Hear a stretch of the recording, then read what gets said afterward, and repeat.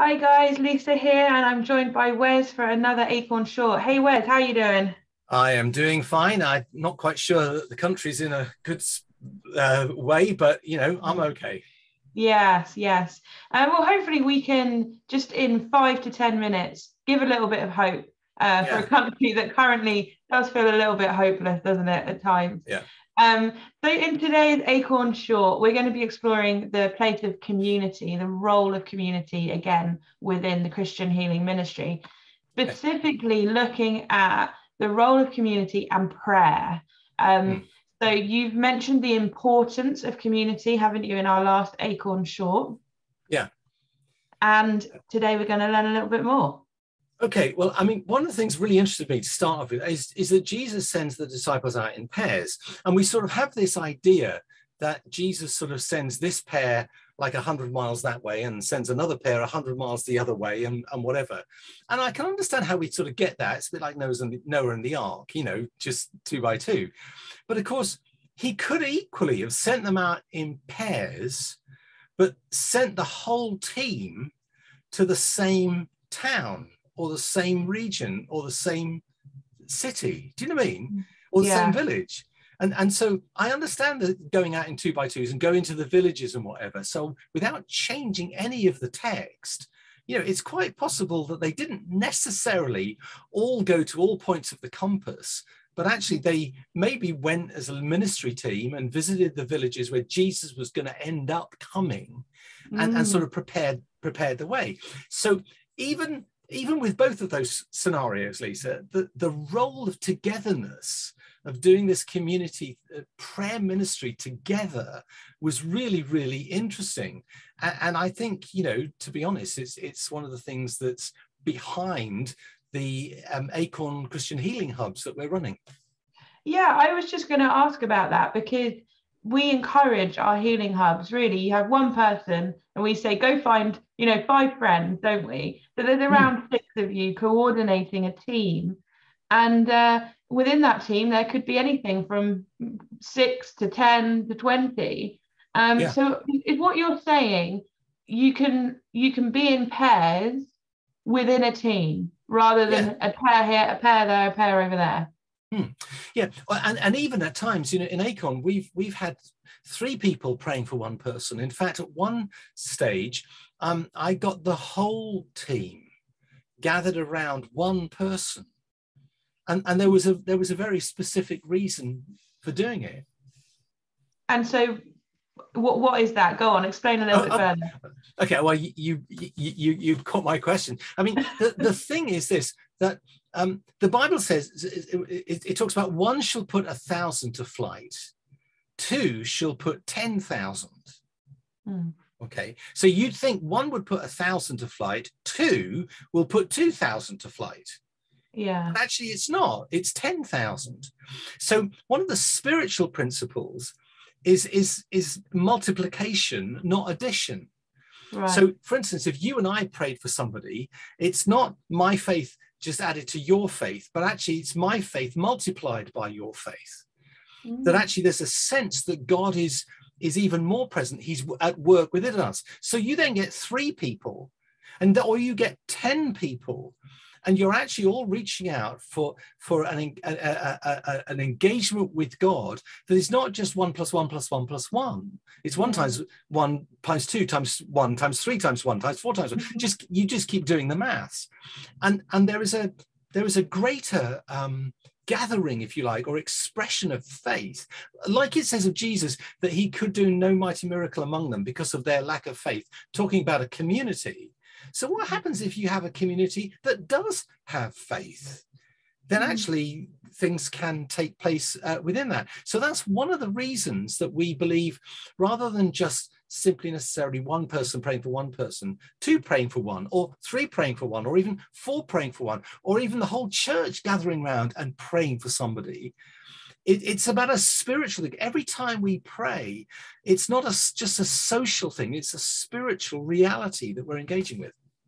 That's amazing. Um, sorry, just hearing that, that's so cool. And it made me wonder what the relation, or if there is a relation then, you know, the passage where two or three gather in my name, there I am.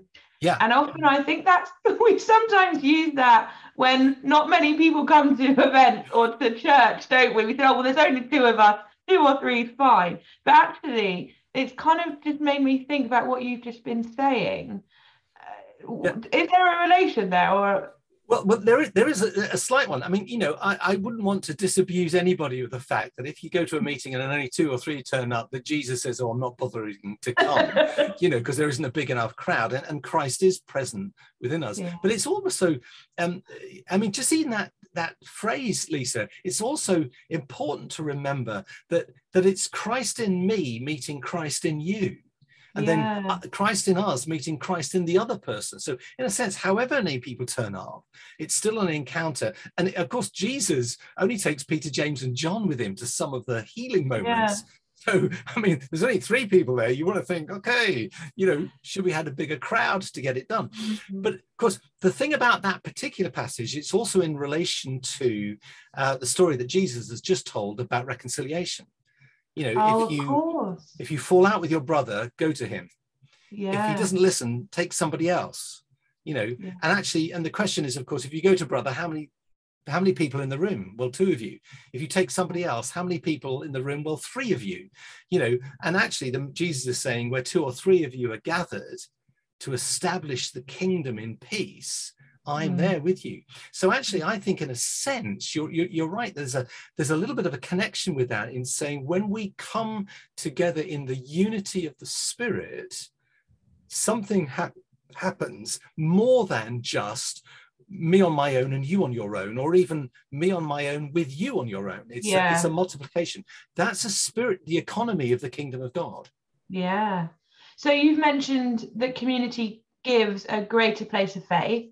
Mm-hmm. Um, you know, it, it's a spiritual principle um, of multiplication, not addition. What else does community give? Well, um, it, it, it, practically it gives support to everyone. You know, yeah. you're, you're, not you're not alone, and you can be encouraged. And and even in in Acorn Healing Hubs, you know, if if somebody needs a tissue or needs a cup of tea, there's somebody else who can who can come and and just support that. But also when we pray for people, we've been working very clearly with the idea that, in a sense, in a praying pair, there's a number one and a number two. That's not about status, that's just about function. And so, you know, the, the, the, number one person in it will take the lead and initiate the ministry, but the number two person is praying for both the guest and for the person who's doing the ministry. You know, yeah. they're holding it in the presence of God and, and sustaining it. There's the benefit of wisdom and experience. You know, um, you know, you might think, oh, I've got to pray for this, and pray for this person, and somebody you know, might have already encountered something like this and might have some helpful insights uh, mm. to it. Mm. Um, greater access to revelation. You know, yeah. God, God, you know, I've been praying um, I, have seen it happen a number of times. Somebody's praying for someone, and I've seen somebody just their, their partner just pause, write something on a piece of paper, and slip it into the hand of the person who's praying. quite, quite, you know, hidden, not not yeah. you know, not shown. And it's just a little bit of revelation that just says, you know, this scripture, this song, this issue, this word came to mind that just mm. helps open the thing up. Um, but also, one of the key things is, is it does boundary it. So it, it means that we can't get involved in the Messiah complex. You know, the people being prayed for end up thinking that you're the person who's going to save them, mm-hmm. nor, funnily enough, us who are doing the praying think more of ourselves than we should, that we're the person. So we would yeah. do things like we'd make sure that if somebody was coming for prayer repeatedly, that they were not just prayed for by the same person or same people every time. Yeah. So that we don't develop codependency or we don't develop transference or unhealthy connections. Yeah. And, and I think that's important as well. Yeah, it is. I mean, we've heard people on our team before, uh, it, I think in their church context, saying how they've had guests come and um, they've said they want prayer from that person in particular. Um, and so, yeah, it's, it's, the avoidance of things like that, isn't it? Um, yeah, yeah, it is. And actually, in the end, in Acorn, Lisa, what we want is we want people to encounter Christ the healer. Yeah. Not not essentially the people that he uses. Yeah. Do you know when, when Yeah. people go away, I want them to to be caught up with the vision that that Jesus was there with them. And if they Yeah. can't remember our name, all the better. Absolutely, absolutely. Oh, it's been great. It's been good just to uh, chat this through, and we encourage you, uh, wherever you are, whoever you're with, um, to just think about what the place of community has within uh, your Christian healing ministry. So we'll catch you guys next time. Thank you, Wes. Yeah, bye.